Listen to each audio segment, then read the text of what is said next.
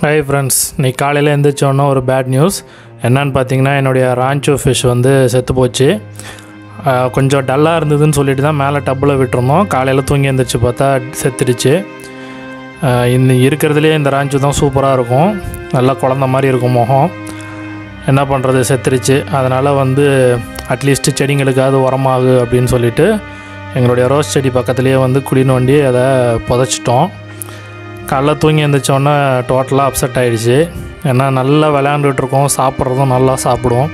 சூப்பரான ராஞ்சு இது ஓகே என்ன பண்ணுறது என்ன காரணத்துக்காக செத்துச்சுன்னு தெரியல. டேங்க்லாம் க்ளீன் பண்ணியாச்சு.